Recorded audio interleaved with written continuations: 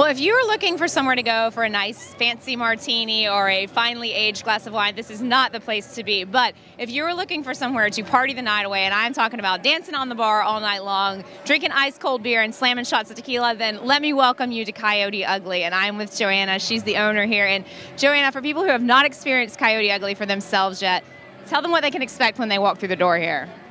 Well, you've seen the movie. The movie's based on our bar.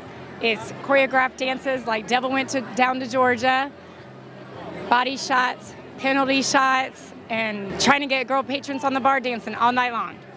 You know, and one thing that I really like about this bar is because you do have beautiful bartenders that dance on the bar and they do some amazing choreographed dancing. But it's not just a guy's bar. You would think because you have such gorgeous bartenders that a lot of guys hang out here, but there's a lot of girls that hang out here too, and lots of free shots for girls that dance on the bar. Is that correct? Well, like you said, the bar is world famous, and girls and women come from all over to dance on the infamous bar, get a free shot, and I can't get them off after that, to be honest. It's crazy. Well, speaking of being world famous, you guys have locations all over the United States, but can you tell everybody a little bit about what makes the Panama City location so unique? Well, it's the only location on the beach, and like you said, it is world famous. They just opened three locations in Russia. There are only 13 right now in the United States, and the Panhandle to me is the greatest variety of people.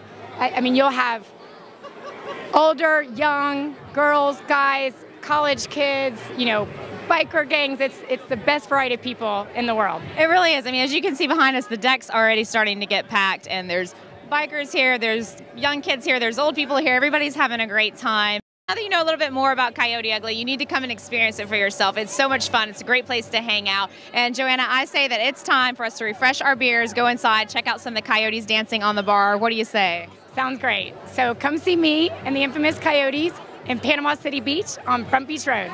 Easy to find. Come see us here, Coyote Ugly.